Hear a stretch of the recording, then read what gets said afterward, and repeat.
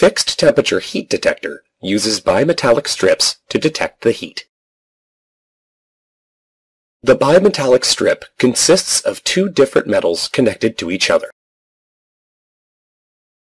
They have different thermal expansion coefficients.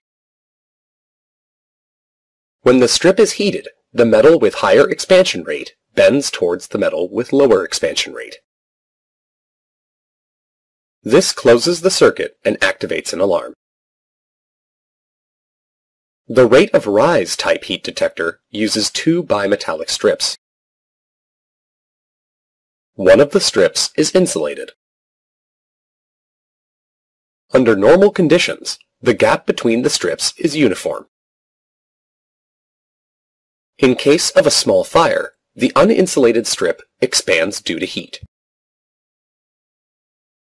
However, since the fire is small, the rate of expansion is slow. In case of a large fire, the uninsulated strip expands faster than the shielded strip. In both cases, once the circuit closes, it triggers an alarm and warns the crew about the fire.